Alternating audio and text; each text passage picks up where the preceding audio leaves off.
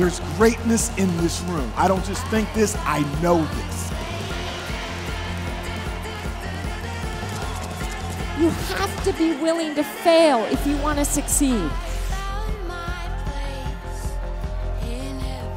GYLS, it changed my life.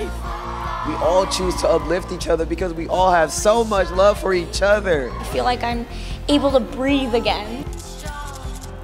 Life deals us hands. Whether you think it's a negative hand or a positive hand, it's our duty to play that hand to the best of our ability.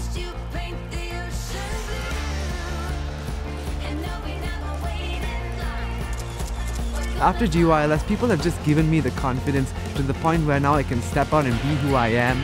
Even though you think you might have limitations, you can conquer anything you put your mind to it. We're here for one purpose to grow together, to inspire each other.